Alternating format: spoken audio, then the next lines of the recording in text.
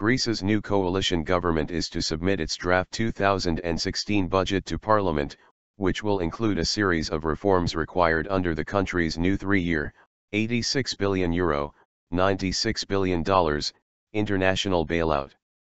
Prime Minister Alexis Tsipras, re-elected last month, is also to announce his government's policies during a parliament speech Monday evening.